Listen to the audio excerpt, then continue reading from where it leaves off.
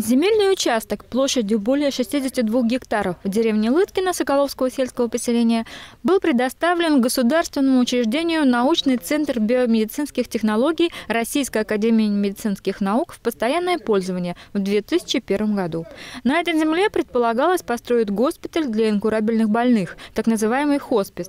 В 2009 и 2011 годах глава районной администрации Юрий Панкратов часть этой земли выделил в аренду, а впоследствии и в собственность гражданам. В связи с этим академики обратились в правоохранительные органы. По результатам рассмотрения акта прокурорского реагирования, постановление главы администрации Нижнегорского муниципального района о предоставлении в аренду и собственность земельных участков отменены.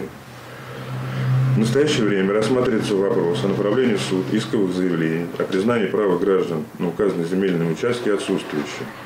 Кроме того, по факту э, хищения земельного участка и собственности Российской Федерации Следственным отделом ОМВД России по Солнечногорскому муниципальному району возбуждено уголовное дело. По делу ведется следствие, устанавливаются фигуранты. Юлия Речет, Евгений Корнилов, Солнечногорское телевидение, информационная программа «Наше время».